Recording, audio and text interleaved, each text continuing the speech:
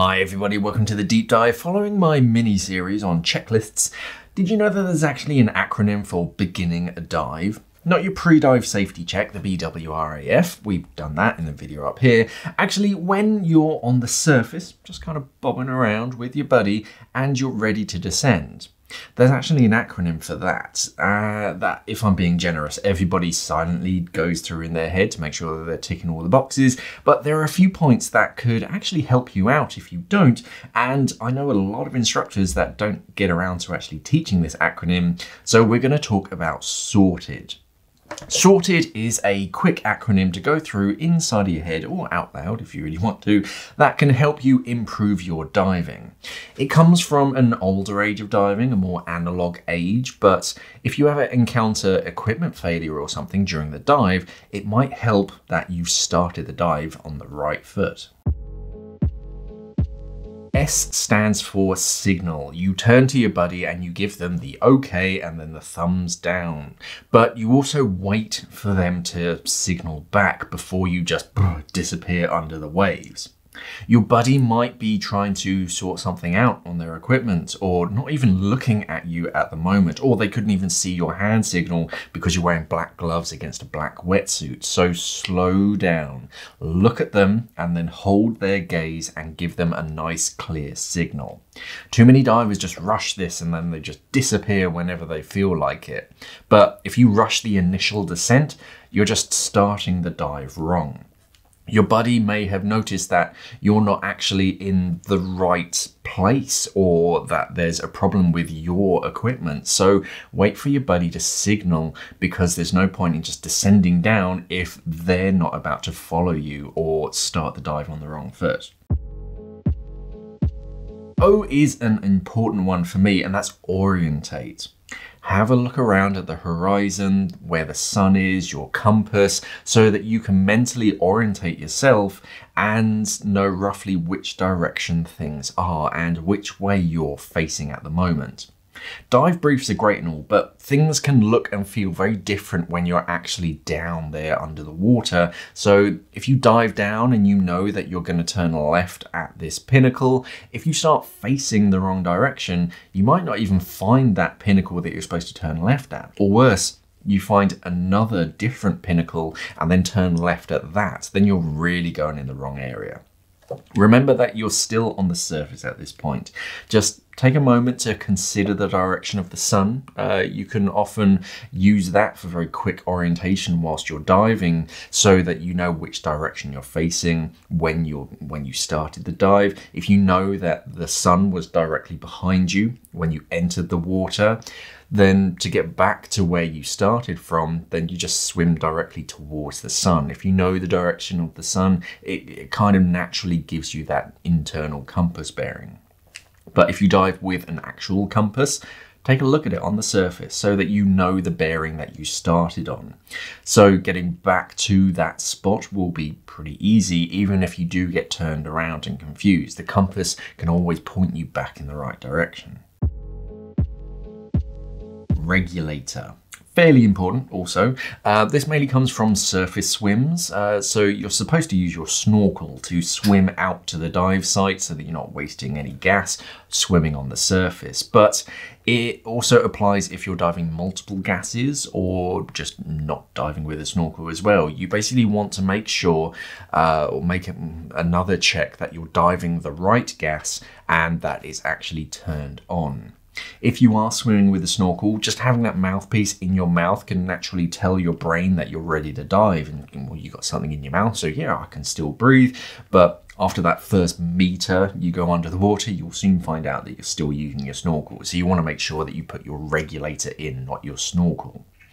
Swap over to your regulator, make sure that it's the right second stage if you're diving with multiple gases, and check your gauges again.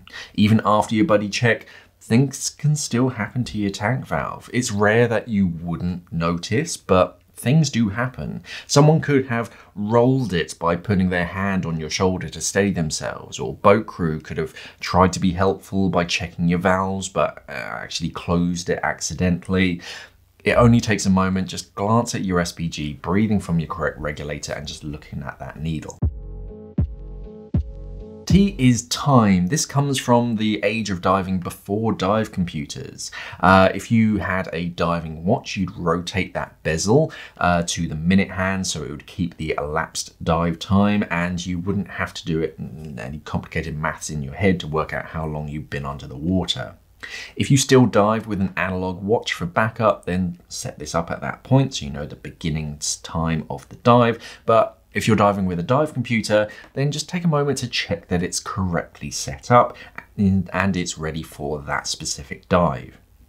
I've been on dives in very cold water where I've checked my computer before the dive, everything was fine, but after jumping into the freezing water, the battery chilled down and actually gave a low battery warning. I've jumped in the water with my computer still set to apnea mode before uh, from some snorkeling I was doing earlier. Computers don't just automatically switch from apnea to dive mode. If anything, they lock you out for a day. So this is the moment to check your dive computer, make any changes before you descend, because by then it's too late. E is simple, it's elevate. Lift that inflator nice and high so that you can dump all of the gas out of your BCD. Air in a BCD always wants to go to the highest point. It, it won't go down. Uh, the, the water pressure isn't going to squeeze it out, so you need to give it the best chance of escaping. So left shoulder up, so that it can the gas can't get caught over your right hand shoulder so it goes to the highest point lift up that inflator hose all the way up and then press that button to begin your descent a lot of BCDs now have pull dumps over the shoulder. A small metal cable inside of the corrugated hose connects the inflator to the elbow joint on your left hand shoulder. So when you tug the inflator just downwards, a valve on your left shoulder opens. All of this is down to personal preference, really. But if you elevate the inflator, that's a really good visual signal to your buddy and everybody around you exactly what you're doing. It's, it's rare that you lift it up to do anything other than dump gas. So I still like to elevate it. That way they know I'm about to descend and D is descend. So do this slowly and at the same pace as your buddy. As soon as you fully submerge, stay upright just for a little bit with your fins downwards. That's going to give you the most power to get back up to the surface should something happen. If your buddy or you have a problem equalizing uh, or with equipment, just a little flutter can just bring you back to the surface quickly. Equalize early and often. As a general rule, if you're equalizing properly, you can't over equalize. You're not going to hurt yourself by equalizing too often, and you shouldn't really feel anything. And then as you're going down, as you're equalizing, you're alongside with your buddy, just look over your buddy's equipment looking for streams of bubbles. There are going to be bubbles all over the place, but you're looking for a steady stream of bubbles from one particular place. If it is a tiny stream of tiny little bubbles, that's not uncommon and not too much to worry about.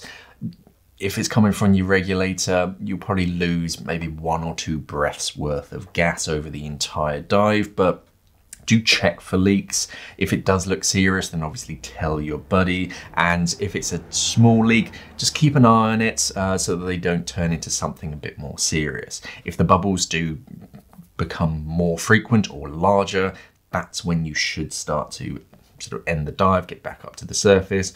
But if it's just a teeny tiny little stream of bubbles, you should be fine. So most of that takes place in about 20 seconds or so. But taking those 20 seconds just to get yourself in the right mindset at the start of the dive can really help should something happen on the dive. Getting your kind of mental map up and running and orientated right at the beginning. Uh, another check of your gear just so that you are 100% sure that it's ready and set up for the dive and that your buddy is with you from the beginning. Just make sure that the dive is going to go right sorted. Uh, I've been doing it for years, but what do you do to start a dive? Obviously, on a negative entry, things are a little bit faster and things often happen before you even touch the water, but you still go through the same motions, just making sure you're orientated, everyone's ready to go down, and all that kind of stuff. But let us know what you do to initiate a dive in the comments. Don't forget to check out the 2 Minute Beach Clean charity and simplyscuba.com. Thank you for watching, and of course, safe diving.